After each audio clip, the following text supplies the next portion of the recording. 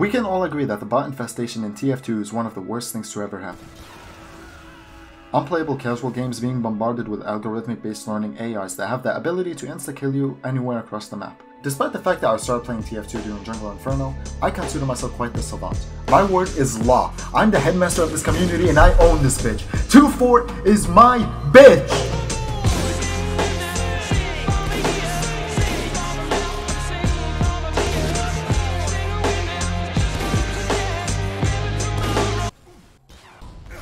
Archaeology.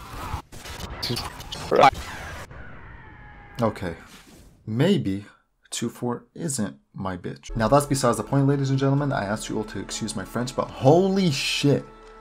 I'd love to go back to Jungle Inferno just for a goddamn playable experience in this game.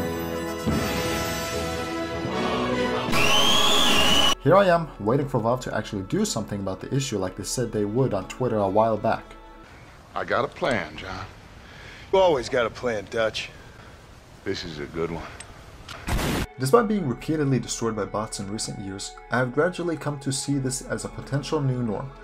Nowadays, the situation has improved compared to when it first started, with just one or two bots per server instead of the whole ass fucking team. it's not as bad as it used to be. A lot of the TF2 casual servers would be something like this. A bot joins the server, gets 1 to 2 kills.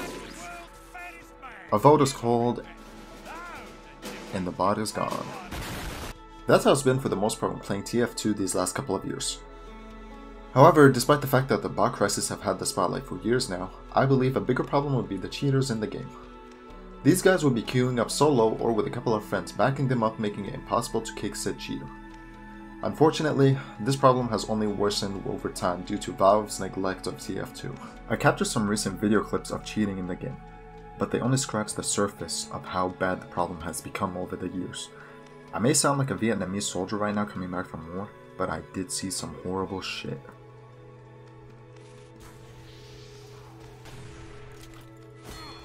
Told him you should have kicked your cheater, but don't complain. Spawn cam thing.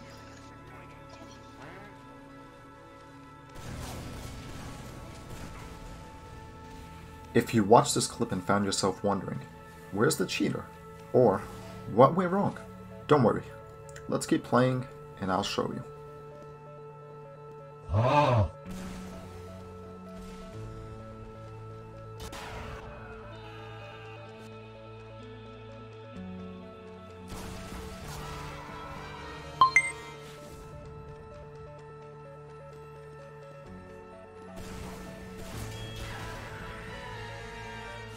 Here's another example I would like to show.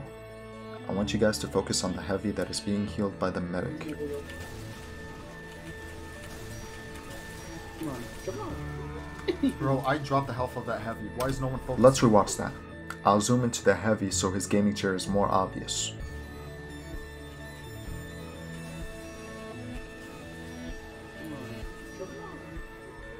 Still not convinced, aren't you? Here's another clip of that same exact game. Oh no, where am I? That heavy is cheating, bro. That heavy is a fucking cheat. How? How do you know?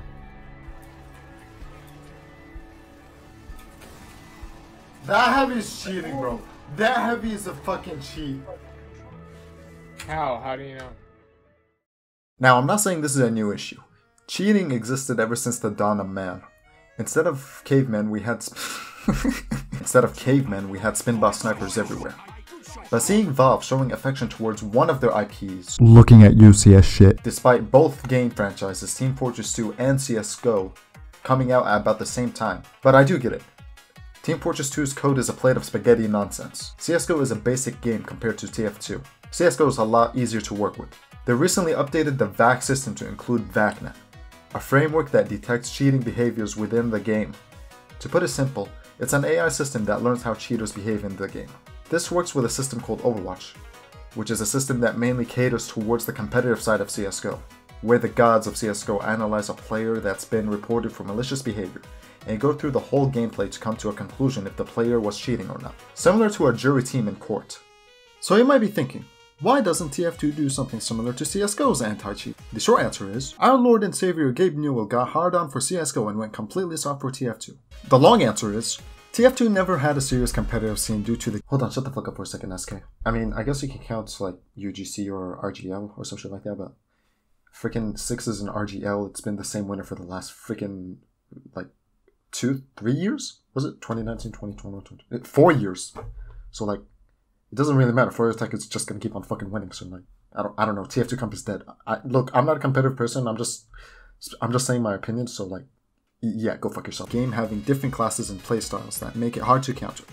CSGO's playstyle involves everyone being practically the same. You get the same health, you have the option to purchase armor and different weapons.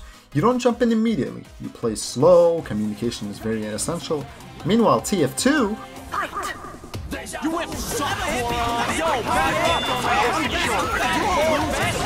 Sound is very essential thing in CSGO. Listening to the enemy footsteps or reload cues to know where a person could possibly be. Meanwhile, TF2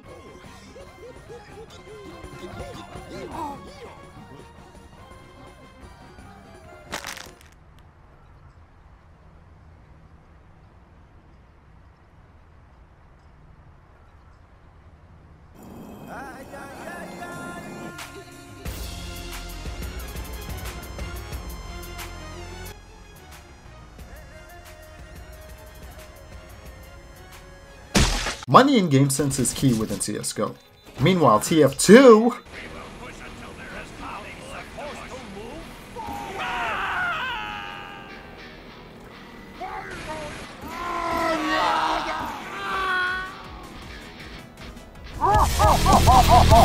Also, let's not forget about TF2's horrible coding. No wonder no def wants to touch this shit. This game is literally relying on a JPEG of a coconut to function. In conclusion, while the bot infestation in TF2 has become less severe over time, the issues of cheaters in the game has only worsened due to Valve's neglect of the game. Despite being a beloved game with a unique playstyle, TF2 has never had a serious competitive scene like CSGO, and its spaghetti code makes it difficult for Valve to implement a robust anti-cheat system like VAC.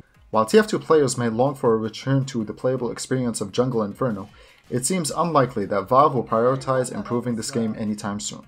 But what do I know? I'm the type of person that would use ChatGPT to summarize a video.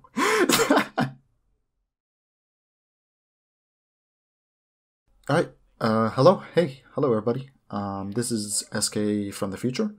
I just wanted to quickly thank you guys for watching this, and thank you if you made it this far. I believe you watched the entire thing. If you just skipped ahead, then uh, go fuck yourself. Nah, that, I'm just kidding. Um, this is off script. This is just me rambling on about, like, I don't know. Um, it's just me talking about how I feel about the current situation of TF2 and stuff like that. I started playing TF2 during Jungle Inferno, which is 2016 2017. I'm not a veteran. I didn't experience TF2 back during 2011 or 2012. So I don't have a lot of say about like how TF2 changed. But um I feel like during me during this time frame from 2016 to today, I did experience a big change. I've built over 3,000 hours in the game, 3,600 currently. I do feel like TF2 is going in a really bad direction. And you probably heard this from many other people who are like more experienced than me, more like has a bigger say than me, like bigger YouTubers or whatnot. This is just me. I made this video for the fun of it, just to like vent on how I feel about stuff. It's been bad with cheaters. It's been bad with uh, the bots. It's been bad with like the lack of updates. Our only updates was straight up just crates for the last four or five years. Just new cosmetics from the workshop. And Valve did announce a big, a quote unquote big update, but I don't really have that big of a hope on it because knowing Valve, I don't, they're probably going to pull shit from the workshop and just call it a day. Because that's, that's what they've been doing for TF2. But, uh, it's really unfortunate. I'm really disappointed to see the current situation of TF2. But I'm not gonna stop playing it. I just I genuinely love this game. This game I want to play it ever since I was young. And being able to play it today makes me happy despite the current situation. Um, even though I started in 2016, I've watched all sorts of YouTubers playing the game. T- uh, playing the game, like uh, Pymations is uh, silly uh, old uh, TF2 animations. Um, I con- I would constantly watch the Meet the Team uh, videos. It's just I don't know. Um, the game was something for me back in the day before I started. Until now, it's like something big for me, and seeing it going the way it is is just, it's really sad. But, uh, anyways, enough me talking, enough me venting. Uh, thank you guys for watching. I appreciate it. Um, yeah, I, I, I legit have no idea how to end this thing, so uh, I'll catch you guys around. Uh, thank you for listening. Bye bye.